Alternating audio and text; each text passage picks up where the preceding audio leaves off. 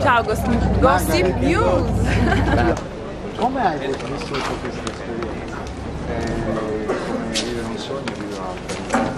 È stato difficile doversi tramutare fisicamente, tu sei così bella e doversi non depilare per un periodo? È stato fantastico, guarda veramente una... magari poterlo fare oggi, purtroppo oggi chiaramente non è possibile insomma, andare in giro ehm, Certo. poco curate, però devo dire che eh, mi ha aiutato molto, io mi sono ispirata molto alla mia nonna perché per un periodo sono cresciuta con lei, per cui avevo questi ricordi di questa donna, di questa figura femminile siciliana eh, che mi ha aiutato molto e mi ha suggerito proprio ehm, la creazione e la formazione poi del mio personaggio di Mannina, chiaramente oltre il grandissimo aiuto del mio maestro Giuseppe.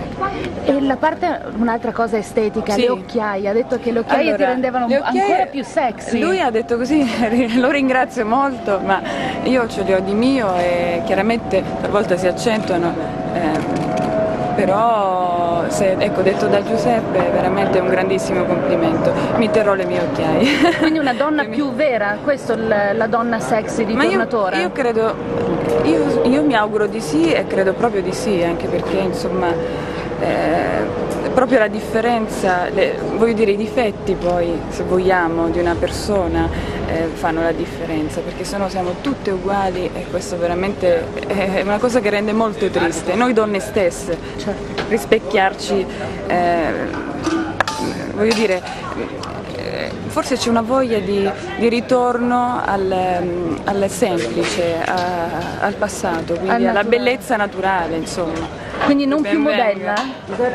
Eh, io mi auguro di no, nel senso perché mi sono innamorata di, di- di- di questo lavoro, di questo mestiere e spero di continuare chiaramente e ce la metterò tutta. Una battuta. Sei medesimato?